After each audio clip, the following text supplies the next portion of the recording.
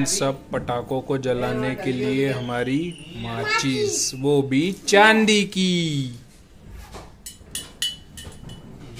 इसके अंदर देखिए, आठ तिल्लियाँ हैं इसे जलाने के लिए।